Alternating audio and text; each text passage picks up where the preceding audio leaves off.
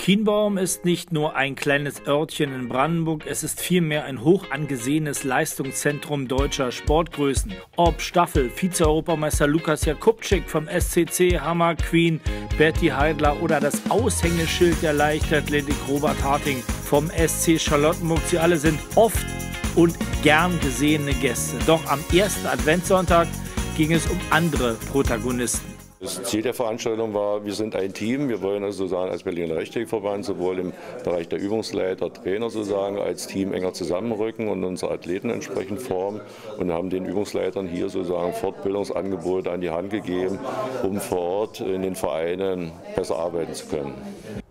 Besonderes Highlight des Tages war unter anderem das Praxisbeispiel Inklusion im Sportverein, der Rollstuhl als Sportgerät.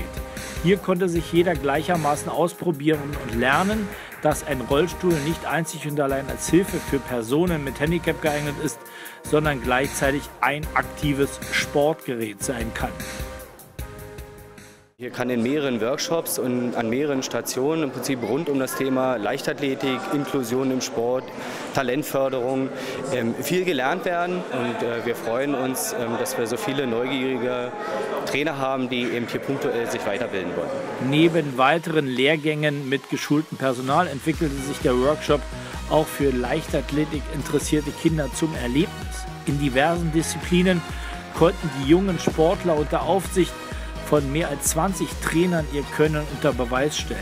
Alles in allem bot die pädagogische Offensive des Berliner Leichtathletikverbandes eine weit umfassende Bandbreite der Leichtathletik und offenbarte Kienbaum ist Leistungszentrum für deutsche Sportgrößen, aber gleichzeitig auch der Ort der Weiterbildung.